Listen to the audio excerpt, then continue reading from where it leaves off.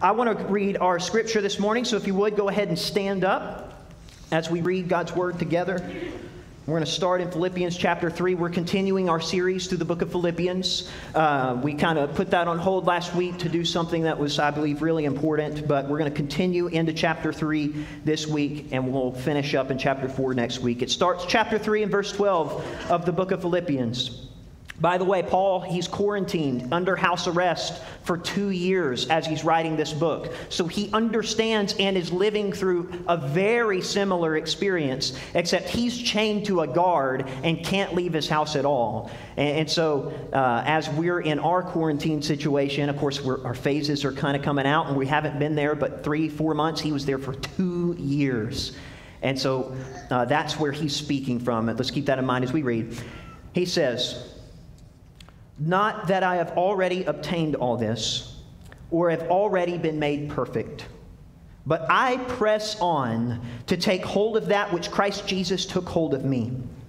Brothers, I do not consider myself yet to have taken hold of it, but one thing I do, forgetting what's behind and straining, straining towards what's ahead, I press on towards the goal to win the prize for which God has called me heavenward in Christ Jesus. You may be seated. I press on. I, I, like that, that phrasing. Well, I say I, I, like it. It's kind of a tough phrasing, isn't it? Uh, straining for what's ahead. Like, I'm, I'm not just reaching for what's ahead. I'm not just heading towards what's in front of me. I'm straining. It, it, it's this struggle within Paul to reach towards what's next for him. Uh, what I want to talk to you about for a little bit is, is one word, and it's perseverance. And, and perseverance is a, it, it's a tough thing, isn't it? It's an understatement. Let me start with this. Have, have you ever run out of gas before when you're driving? Let me see a show of hands for those of you that ran out of gas on the side of the road. All right, so I've been a part of two experiences where one, we almost ran out, and another where we did run out. And both were humorous and kind of miserable. And uh, I'll share one of them, one of the two with you. Uh, one, I, am riding with my buddy. Uh, this is I guess I'm early high school age, and, and he's, you know, kind of a senior, so he's the older one. So we're riding in his truck, and he's taking us around, and he had forgotten to get gas. And so we're driving into town, and as we're pulling into town, his truck just starts to give. He says, Oh, it's going. it's going. And we start sputtering, you know, and all of a sudden you just, nothing. So he clicks it up into neutral and had enough momentum to pull us into a, a little business on the side of the road, into a parking lot perfectly, and stop the car right there. But now we're trapped, and so we have to wait for like an hour and a half for his grandma to come bring us some gas from her house, you know. Uh, and, and, it was hot and, and all this kind of stuff. But, you know, we made it through. But being out of gas, uh, it's not a fun experience. I'm sure you've got a lot worse experiences than just being able to, you know, it's pretty convenient for us. We did pull into a parking spot, you know. Um, I'm seeing some smiles out there, so I know there's some stories that I would love to hear at some point. But, but being out of gas, man, that's a, that's a tough thing. I, I don't know how many of you are sports fans where you like to watch sports. Let me see your hands. All right, so we got a lot of sports fans. If you watch sports, there's a phrase that they use. I'm sure it's used in other places. This is where I hear it the most. And I want to share with those of you who aren't sports fans so that you know there's a phrase where when somebody's really tired, we call it what? They're out of gas. They're gassed, right? And so you'll hear that phrase. It, it's and, and the idea on that is I've got no energy left to keep going. I've got no momentum left. I, I've given everything I've got, coach. I got to get some Gatorade. You know what I'm saying? You ever felt that in your spiritual life? Where you're just out of gas? You know what I'm saying? You ever been gassed emotionally, physically? Like, because this is not just a, a problem um, outside of our minds, man. In our minds and our hearts, we can become gassed. We can run out, and it's a miserable experience. I've been there before. I've been there multiple times. Actually, uh, ministers, we're not uh, excused from that, are we? And, and with, I know you've, and, and, Alan, like we, we've talked, and Daryl, I don't know if Daryl's here this week, he's probably watching. I mean, we've had probably classes and read books on ministry burnout. It's a real thing. I took a class on this at preaching school. It was a, a class specifically to handle burnout in ministry. That's why your elders have, have given, I think, what is it? Was it seven years for a sabbatical? It's to help with something called burnout. It's a real thing. And so when a minister's been here seven years, they get a one month sabbatical to go and to reflect and to take time. And of course, some ministers are like, I don't want to go. You're, it's forced because we want to make sure that we're protecting you from something that's very, very real, and it's called burnout. And it's not just for ministers. It's not just for ministers. You felt it, but you ever hit a point where you just want to quit? I have. I, am done. I can't do this anymore. I can't be this rock for my family. I, I, can't keep being the one to go and to be that strong point for them. I, I can't be uh, the person that they need me to be. I can't be what they're asking me to be at work. I can't do this with school anymore. I can't keep this mask on anymore and act like everything. I'm done. I'm gassed. I'm out. I quit. I can't. You ever hit that point? And then your prayer life becomes God, you got to get me out of this. God, please, I can't do this anymore. You say that you won't let me be tempted beyond what I can bear. You won't let me crumble, but God, I'm crumbling and I'm done. And I can't do this anymore. And I know that people are depending on me. I know that maybe family and people that I love that are depending on me, but I, I can't, I can't do this anymore.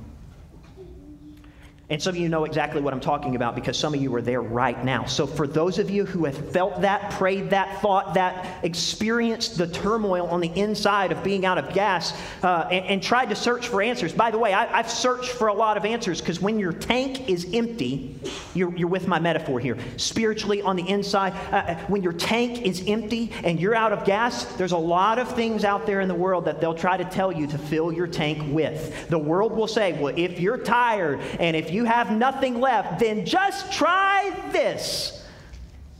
And, and, and people, we buy into that because we get to a place where we're so desperate to find any relief from what we're feeling with being out of gas on the inside that I'll try anything. And then sometimes you get hooked to things that you didn't want to get hooked to because you were trying to find relief for something that only Jesus can fill. But we didn't know that answer at the time. And now I'm addicted or I'm stuck and I've lost momentum because I bought into the lie of the world that this would fill my tank.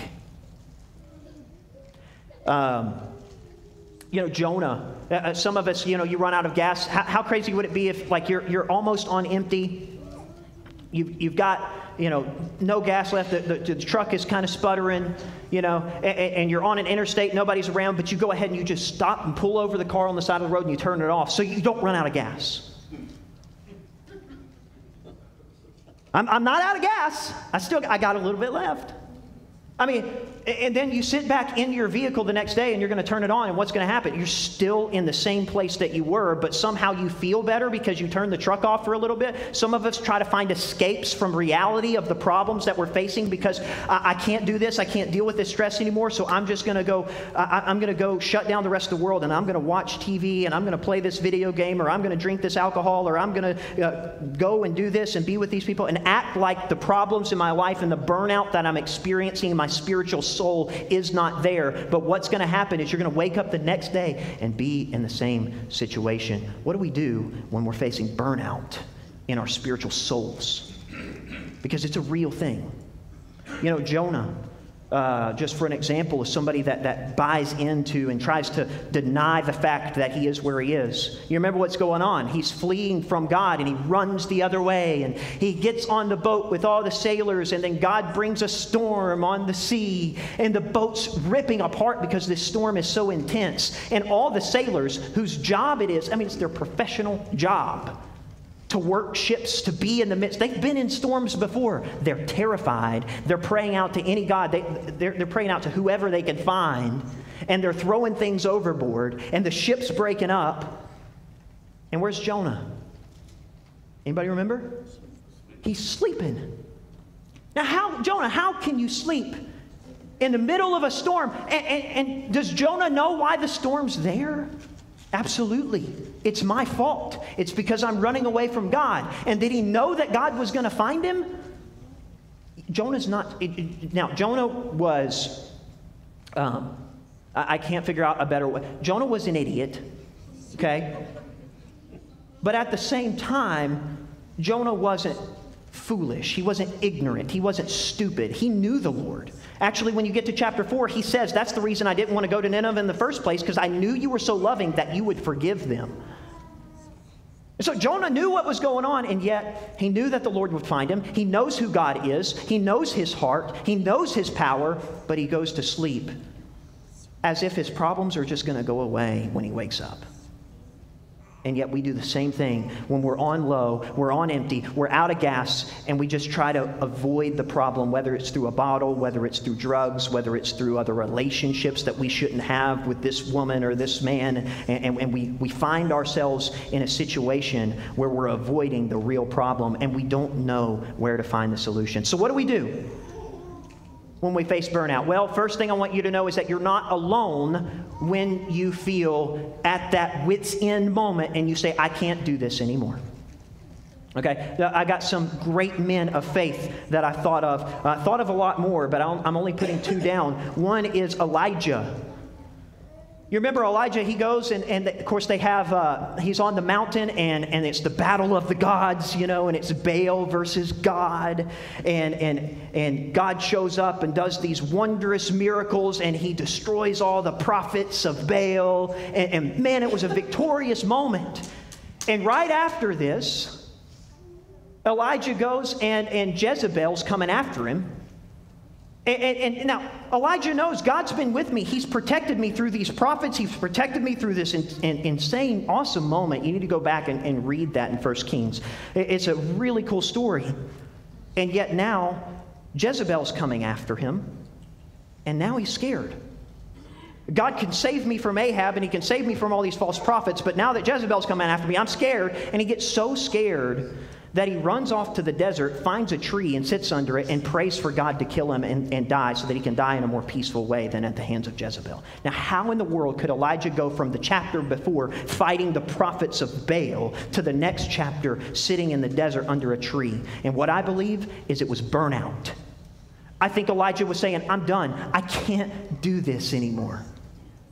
I, I, can't keep being the voice of God. And actually, as you read uh, later in that, that, that chapter, you realize Elijah said, I'm the only prophet left. I'm the only one. And God reminds him, No, you're not. I'm raising up 7,000 more. But Elijah feels like he's alone. He feels like he can't do it. So he goes out under this tree to die. And an angel comes to him and, and, and strengthens him and provides food and water and says, Get up and eat. And, and in other words, keep going, Elijah. Don't stop. And Elijah eats and he drinks and then he lays back down and goes back to sleep again. And so the angel has to come back a second time, give him more food, give him more drink, and he wakes up and he eats and he drinks and he's strengthened. And finally he goes, but then where does he go? He goes up to a mountain and into a cave and he hides. This is that famous moment with Elijah where he runs to the cave in the mountain and he hides. And it's the, uh, when you think about depression in Scripture, this is that moment where Elijah is just so depressed. He's, look, he's out of gas. He, he's done, he's burnt out. And so he hides in the back of this cave, and God comes not in the earthquakes and the fire, but he comes in the still small voice and encourages him and reminds him to keep going. And from that moment, through the presence of God, Elijah is encouraged enough to go and find in the next chapter, he finds Elisha, makes him his follower, and from that moment on, they go and begin to set a course to change the history of Israel forever and lead God's people. I mean, it's an awesome story, but it, it, uh, in the middle of it, we can relate. Elijah says, I'm done. I, I, I, I give up, God. I surrender. Peter. Remember Peter? He, he's in, in Matthew. Jesus comes to him. And, and the first time that Jesus comes to Peter, what's Peter doing? He's fishing. You remember that? And Jesus says, Cast your net on the other side, and they catch a bunch. And then he comes in, he says, hey, No, you're not going to fish for fish anymore. You're going to be fishers of men. And Peter begins to follow Jesus, and he follows him all the way through his ministry. Peter wasn't always perfect, but he was always there, right? But then he has this moment where I think he's just, his tank's on empty and he's burnt out. He's just denied Jesus three times and, and, and he's failed. And he looks at himself and he says, I'm a failure. And on his spiritual, on the inside, we relate, don't we? On the inside, he says, I can't be this anymore. Who am I kidding? Trying to act like I'm a person of faith. I'm not a person of faith. Look at my life. Look at the things I do when I get home and I'm by myself and nobody else is around. Look at who I am. I'm a wretched man. That's what Paul says. Oh, what a wretched man that I am. Peter says, I can't be this anymore. This disciple, this apostle. That's not me. Who am I kidding? And then he says this phrase at the end of John. And he says, I'm going fishing. Not fishing for men, I'm going fishing for fish. I'm going back to who I was because I'm done. I can't be this anymore. I can't do this anymore. I'm going fishing. What, what's going on, Peter? He's burnt out. He's done. He says, I quit. And of course, then Jesus comes in and begins to talk to him, the resurrected Lord, and has to remind him through the three I love yous, which relate directly to the three denials Peter, do you love me? Do you love me? Do you love me? And then Peter begins to be recharged. And he goes on to be in Acts chapter 2, right after that scene. Now he has the momentum to preach the first gospel sermon and to be the one to open the door of the gospel to the Gentiles in, in Acts 10. Like that's all through Peter. But Peter had to make it through and persevere through his burnout moment. And in order for you to achieve the greatness that God wants for you, then I'm challenging you to understand that the same message is true for you. In order for you to achieve and to become who God wants you to become, you're going to have to push through your burnout moment. You're going to have to find the strength to get a little more gas, to put a little Gatorade in the, in the body, to keep on going, to keep on trying, to keep on persevering to make it. Paul says, I strain towards what's ahead. I press on. I persevere. And that's what he's calling us to do. But here's the question that's great. You're not alone. But what do I do about it? Well, how do you persevere? How do you make it through? The first thing is you have to renew your mind. I've got two things very quickly. First is you renew your mind. And, and, renewing your mind is something that, I, well, I haven't understood my whole life. I'm still learning what that means. But here's what I used to think renewing your mind meant. Um, how many of you love to do crossword puzzles? Any crossword puzzles out there? A few of you? Yeah, yeah, yeah. Okay.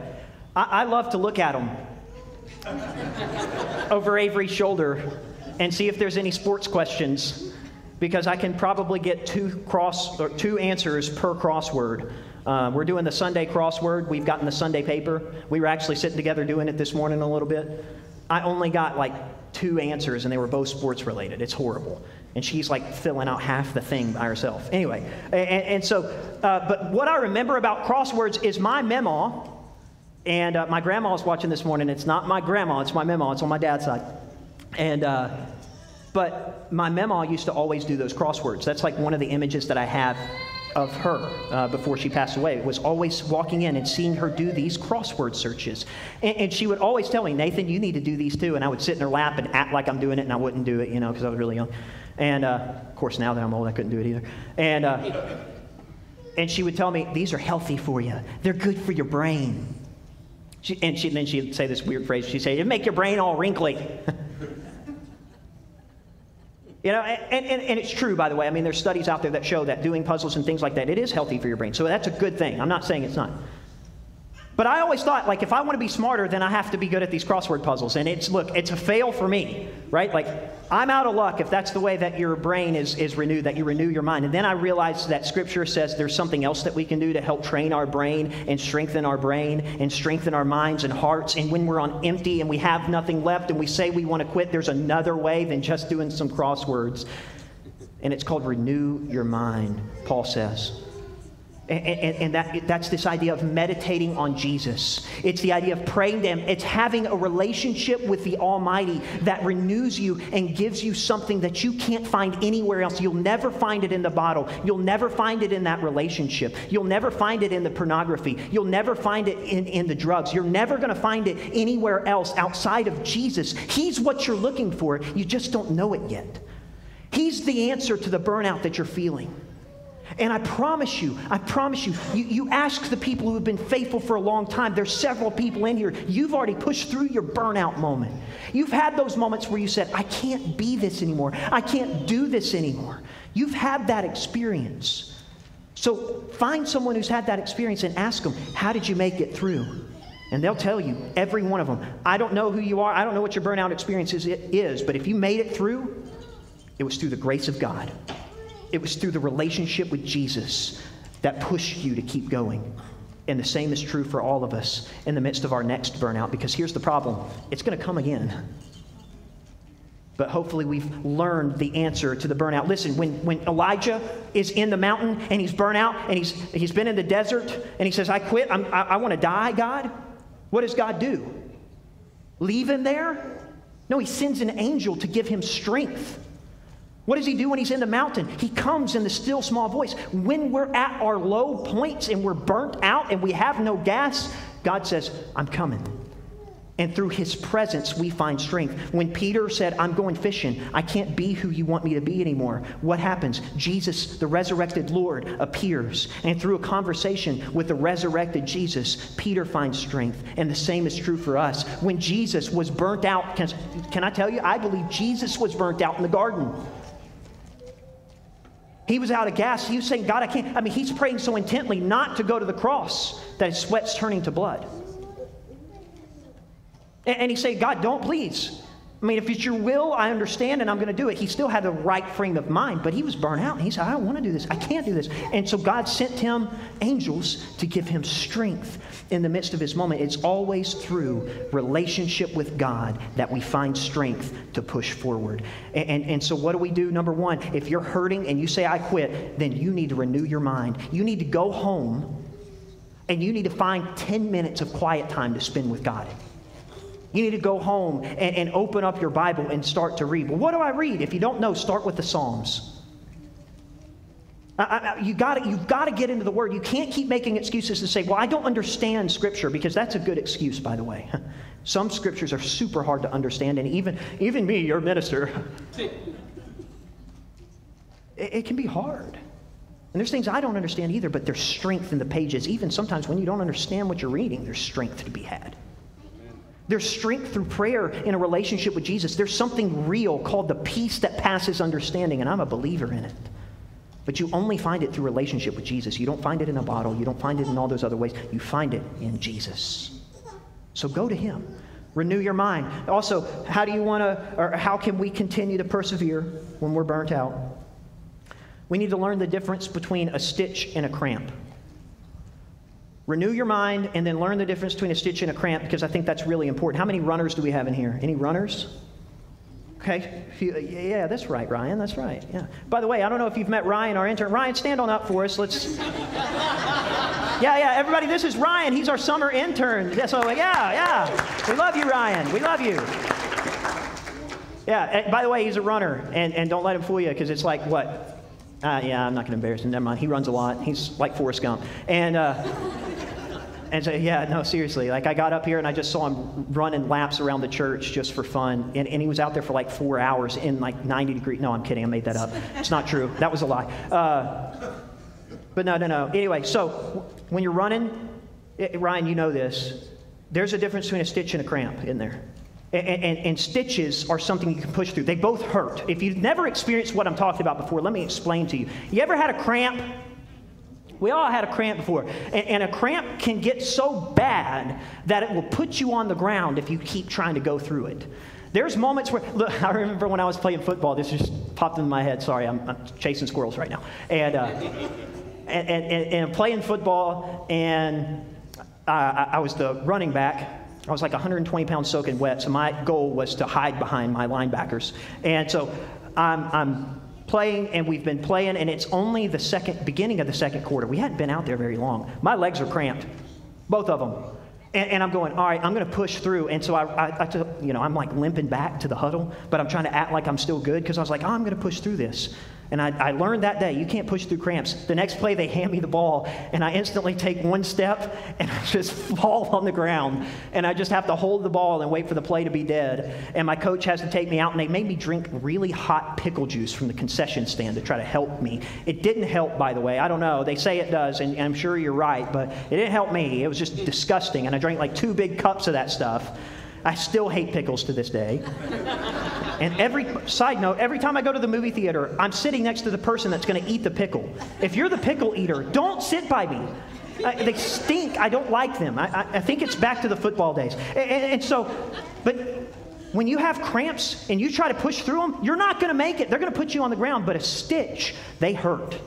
If you've ever been running, you know what that is. And man, it just it gets in there and it just hurts. And, and, and they can feel like they're going to put you on the ground. But the key to, to a stitch, see, a key to the cramp is to stop. A key to the stitch is to keep going and to push through and train your body to handle these things, to push through.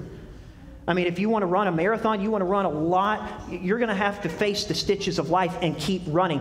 in life, listen, we're going to face cramps and we're going to face stitches and we're going to have to learn the difference between each. And I don't know how to tell you the difference, it depends on the scenario.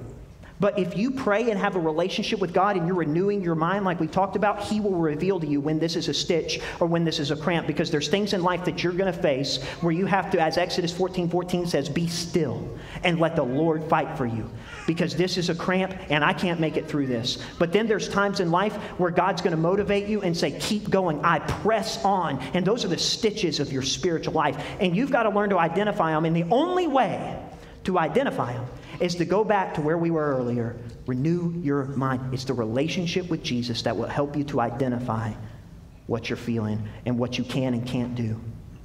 And so, this lesson, yeah, it's to encourage you. You're going to face those cramps and those burnout moments where you can't do it. Your encouragement this morning, you need to be still and let God fight. You need to build your relationship with Him.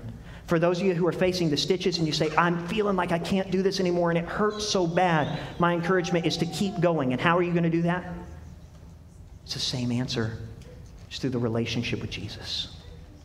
We find strength there for both stitches and cramps. We find healing in the presence of God to keep going. Uh, I'm wearing a shirt. I don't know if you've seen. It's not just because I wanted to do some kind of weird attire this morning, but it actually has a purpose to it. This shirt, I don't know if y'all can read it, but it says persevere across the front.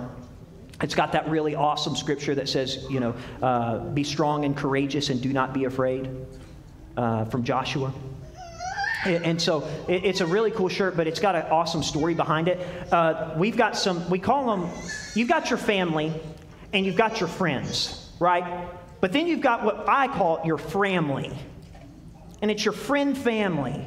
And I think everybody's got those friends that are so close to you, they feel like family. And that's whose shirt this is. That's where this shirt comes from. It's a part of our family.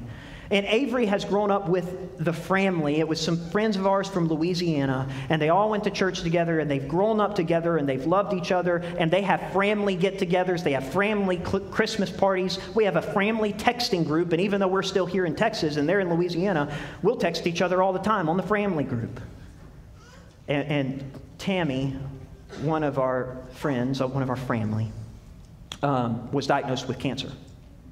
And so it was a really tough time for the whole group, and, and obviously for her. And so her daughter came out with these shirts. And of all the words that the family could have used to help her to make it through, the word they chose was persevere. The word they chose was persevere. Keep going. We're going to fight this together. We're going to persevere together. On the back, if I were to show you the rest of the shirt, it's full of scripture. It's full of lyrics from worship songs that they love. And, and they intentionally surrounded their perseverance with a relationship with God. Because that's how we make it through. And now, after many, many months and, and a long time of, of, chemo treatments and fighting. She's her cancer's in remission, and so praise God for that. It's a wonderful outcome to this story. But the way they made it through the dark, because let me tell you something: when you hear the C, the scary C word in your life, and you hear that somebody close to you or yourself or a family member has cancer, it can be, it is one of the scariest things you'll ever face. It's tough. It's scary. It, it, it, you begin to, to be drained emotionally and physically. It's not just a, a battle for your body, it's a battle of the mind, it's a battle of the emotions. And you can hit a point where you just get drained and you get burnt out. And that's why that one word they chose was persevere. Make, just keep going. Keep praying and surround that all over the shirt with a relationship with God because that's how we're going to make it through. And so they did. They, this wasn't just on a t-shirt, man. That's the, that's the family lifestyle that we have. They pray, they worship, they love God. I encourage you, if you don't have friends like that, you need to find friends like that. You know, that's what the church is all about, right? It's church family together. So, are you hurting? Are you tired? Are you ready to say, I quit? Then I hope you found something in this lesson that will help you to find the strength to keep going through building your relationship with Jesus. When you leave here, you need to go home and you need to open up your word. You need to find your prayer closet. If, if you walk out of here and say that was a good message, but you leave and you're still burnt out and you're still crying yourself to sleep and you're still miserable and you're still going and trying to fill the void with other things other than Jesus, then you've missed the point of the lesson. Go home and build your relationship with the Almighty and find strength there. I believe just like he sent angels to Elijah, just like he sent angels to Jesus, he will send his angels to you to give you strength beyond your understanding. I want to leave you with one verse, and I want you to let this be your verse when you're going through hardship and, and struggle. It's 2 Corinthians chapter 4. This is Paul once again, and he says, We are hard pressed on every side, but not crushed, perplexed, but not in despair, persecuted, but not abandoned we are struck down, but we're not destroyed. I, I, love that scripture. Let that be your verse when you're facing burnout and you feel like you can't keep going. Man, you may be beaten down, you may be hurting, but you're going to keep pressing on and straining towards that goal through perseverance with a relationship with Jesus.